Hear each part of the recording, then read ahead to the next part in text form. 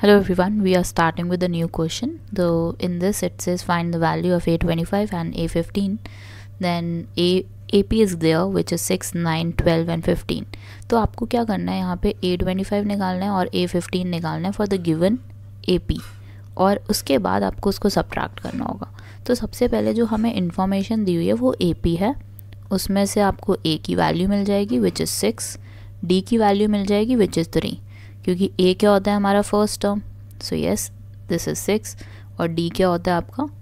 First to का difference या कि, किसी भी कॉन्जिक्यूटिव नंबर्स का डिफरेंस अब हमें क्या करना है? ए ट्वेंटी फाइव निकालना है. ए ट्वेंटी फाइव कैसे निकलेगा आपका? वी नो कि ए एन क्या होता है आपका? A plus n minus one d तो yes it will be a plus n as twenty five twenty five minus one d तो आपके पास वैल्यू क्या आ जाएगी? A plus twenty four d a की वैल्यू कितनी है? Six twenty four as it is d की वैल्यू कितनी है? Three so yes you will get six plus two one seventy two seventy two plus six कितना हो जाएगा आपका?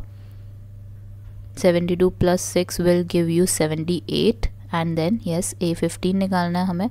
तो ए फिफ्टीन की वैल्यू क्या हो जाएगी? A plus fifteen minus one d a की वैल्यू कितनी है आपकी?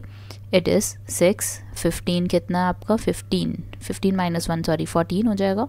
D is three so yes you will get six plus fourteen into three will give you two one forty two forty two plus six will give you forty eight so so yes, now you have, you can easily subtract these two values. So you will get 78 minus 48 which is 0 and 3 30 30 is your answer for this one. Now we'll be moving to some more questions. So yes stay tuned with us. Thank you for watching